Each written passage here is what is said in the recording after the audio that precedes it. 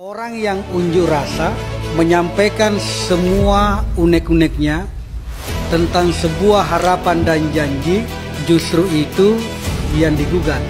Ini satu poin yang harus menjadi catatan bagi Komisi 3. Ada apa itu? Kemudian tadi jenis gugatannya perbuatan melawan hukum dengan ganti rugi ya 56 miliar. Tentu ini tidak biasa dan tidak lazim bagi kita.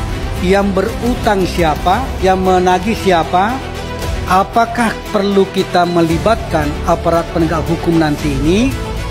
Atau tidak perlu melibatkan aparat penegak hukum dalam persoalan seperti ini. Karena ini kan aneh bagi saya ini Pak Ketua, siapa sebenarnya yang prestasi di sini? Apakah masyarakat ini, konsumen ini yang prestasi?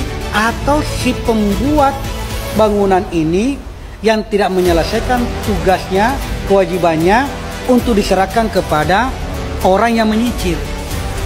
Ini harus selesai dulu ini.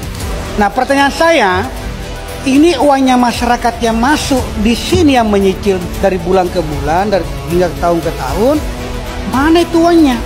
Menurut saya, kita harus mengundang pihak Mekarta, undang ke sini, dudukkan di sini.